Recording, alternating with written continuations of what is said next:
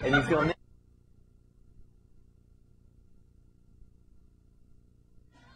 This morning on Relationships 101, the right wear. Some people will spend hours, some people, uh, planning and prepping for a date, but who are they really impressing? Joining us with some answers is Steve Santagati, author of the New York Times bestseller, The Manual. Good. Steve, good morning. Thank you, Amy. Amy, you know, when a woman gets ready for a date, they'll often splurge on a new outfit, a trip to the beauty salon, but what matters to a woman may not necessarily make the grade for a guy.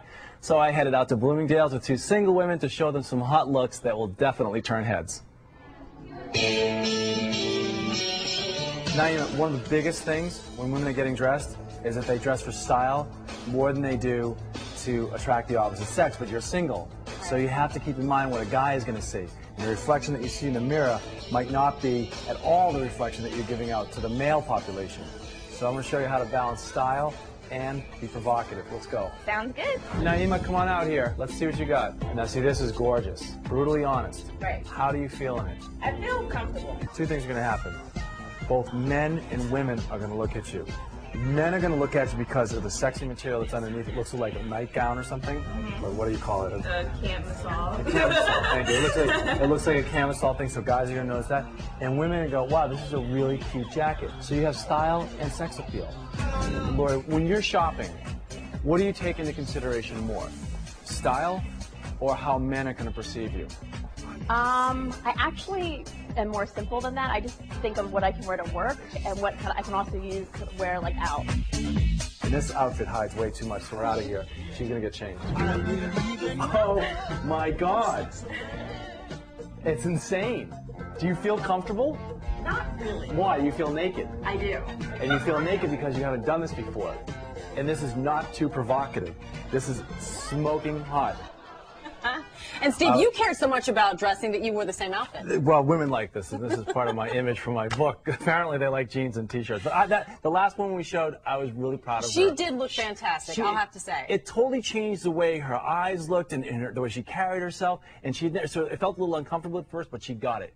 If, if you're uncomfortable, though, can you still pull it off? I know You self-confidence is sexy, certainly, but You have to fake it till you make it. You have to. Guys are going to notice a certain thing. That's the laws of nature. The brightest feathers, the biggest antlers, whatever you okay, want to fake call it till you make it. So you get the guy's attention, but keeping the guy's attention, do you have to keep it all up? Bait him with your body, keep him with your brains. Guys, you know, first thing you're going to notice, women are no different. You're going to notice a guy's physicality first, Right. and then you'll get to know him. And if he's an idiot, you're not going to be turned on. Same thing with men. If they're, uh, we're a little bit more lenient, though. She could be a little dumb.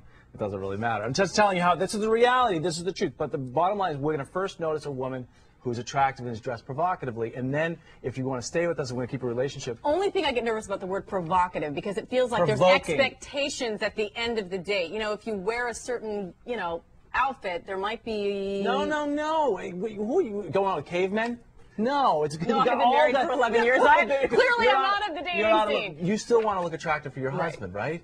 Sure, It's sure. It's the same thing. It's a, but if this is the beginning. The foundation of every solid relationship starts in the first three months to a year. You keep the guy attracted, and then you keep you do what I What about makeup and hair? Is less is more? I mean, that's yeah, what we want we want natural, simple. You know, when you go out to the grocery store, you should look a little good if you're single, stuff like that. But less is definitely more. We want you natural. And you should be of the day. thinking about those trips to the grocery store, you say, in the post office. Right. Yes. Don't under- go in your no, jogging suit, no, your don't be a suit.